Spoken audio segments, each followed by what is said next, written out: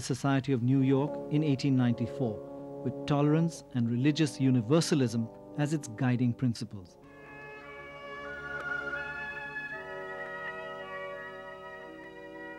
In the four years that he was away in both America and Europe, Vivekananda built up a large following. Some of his foreign disciples decided to give up everything they had and join him in his work in India. Notable among them were Margaret Noble, later Sister Nivedita, who devoted herself to women's education in India. J.J. Goodwin, Sister Christine, Josephine MacLeod, Captain and Mrs. Sevier.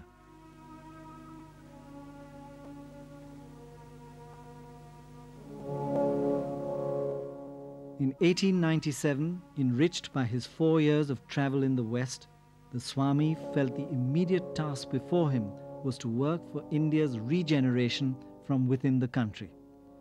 He had come to America unknown and unsure of his position. He now returned to his homeland as a hero and as its most important advocate of Vedanta.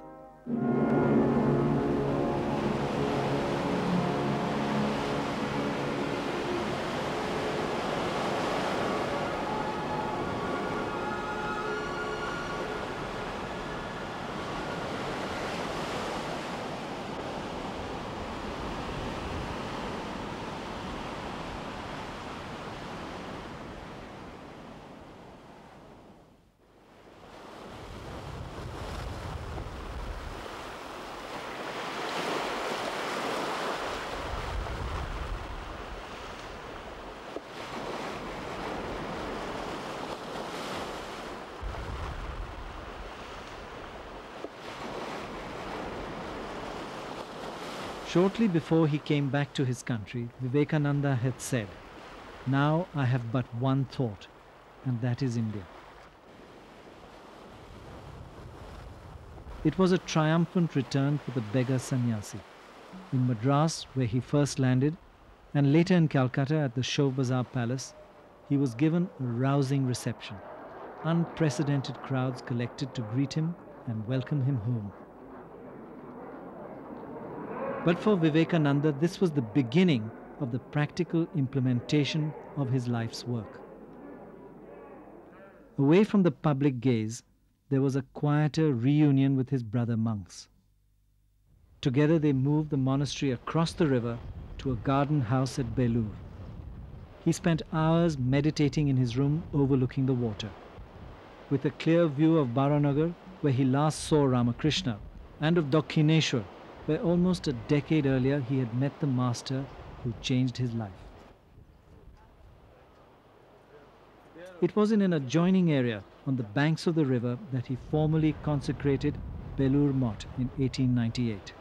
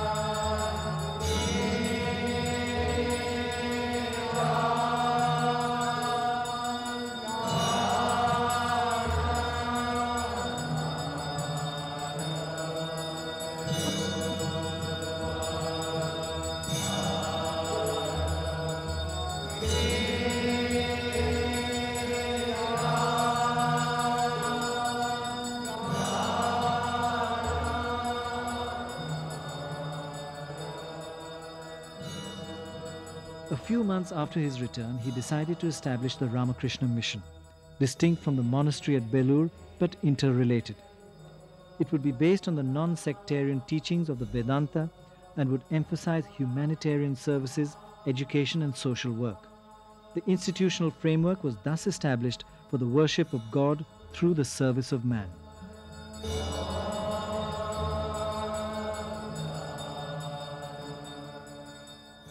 I consider, he said, that the great national sin is the neglect of the masses, and that this is one of the causes of our downfall.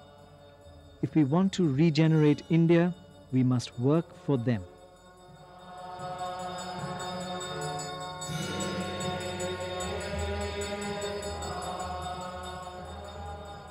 The education of women was also one of Vivekananda's primary concerns, and within a year after his return, the Nivedita Girls' School was started.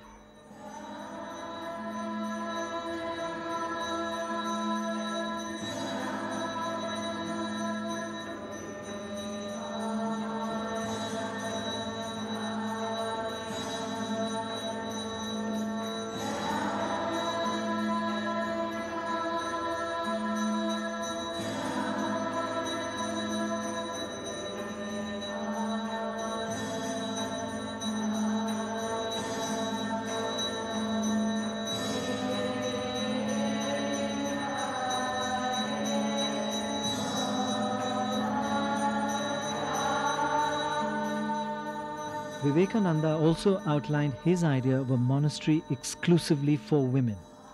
His idea has taken full shape in the Sharda Math, only a few hundred yards from Dakshineshwar. Run and managed entirely by women monks, the Sharda Monastery continues to attract women from all over India and the world to work for women's education, training and health with centers all over the country.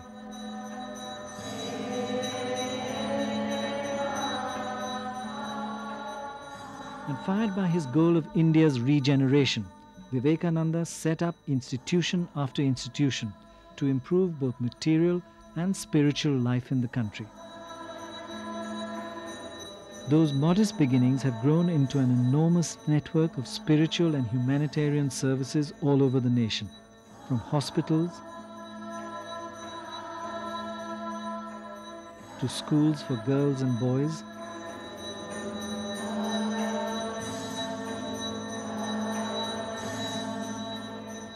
to institutions for the disabled.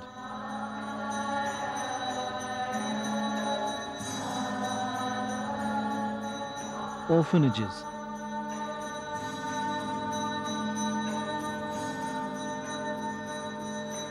And cultural centers.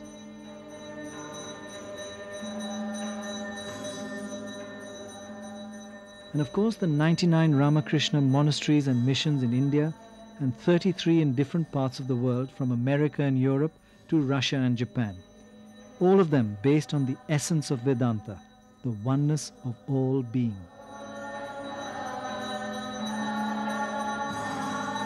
It was here in his favorite room that he spent most of his time during his last years. Throughout his life, music and writing had been a passion with Vivekananda. And at Belur, in this corner of the room overlooking the river, he continued his work, writing about his intense love of India. Despite a second trip to the West, it was his work in India that remained his passion in these years. On his return to Madras in 1897, he declared, For the next 50 years, this alone shall be our keynote. This, our great Mother India. Now back in Belur, writing his most important essays on national problems, he wanted everyone to proclaim with him, The soil of India is my highest heaven.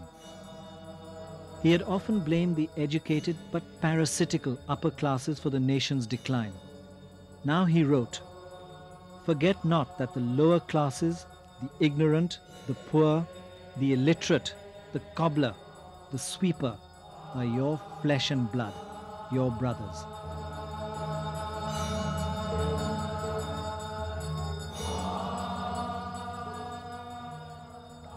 About his works, Mahatma Gandhi wrote, After having gone through them, the love I had for my country became a thousandfold. Subhash Chandra Bose called Vivekananda the spiritual father of the modern nationalist movement. Nehru described him as one of the great founders of the modern national movement of India. Sri Aurobindo saw in his work the awakening soul of the nation. And Tagore said, read Vivekananda if you want to know India. But Vivekananda's health was failing, and he didn't live long after his ideas were put into effect. Now, even traveling in India, which had so sustained him in the past, was becoming tiring and difficult. Even so, in 1902, he made the journey to Varanasi. It was to be the last time that he returned to this, the seat of Shiva, on the banks of the Ganga.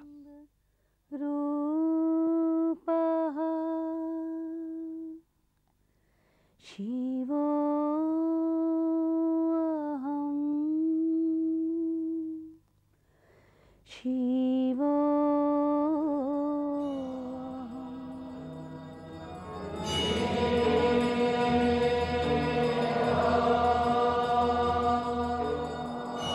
to Belur, he spent more and more time in his room, meditating, writing, meeting his brother monks.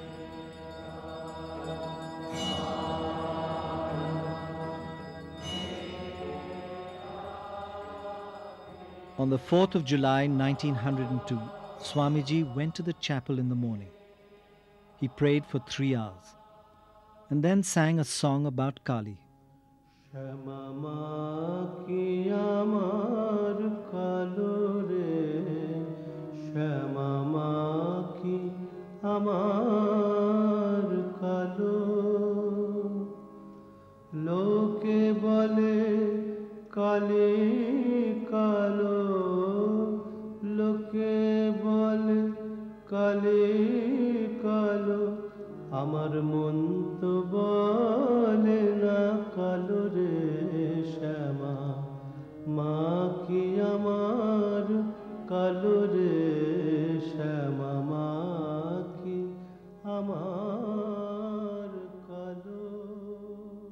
The whole day he seemed to be in high spirits. In the afternoon, he went for a long walk on the banks of the river.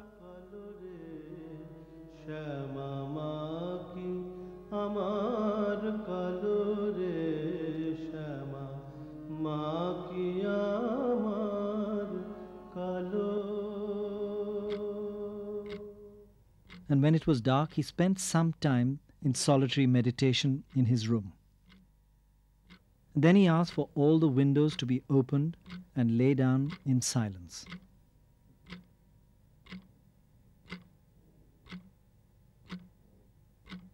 At around nine o'clock, he passed away, entering into what his brother monks and disciples called Mahasamadhi. What did he merge into?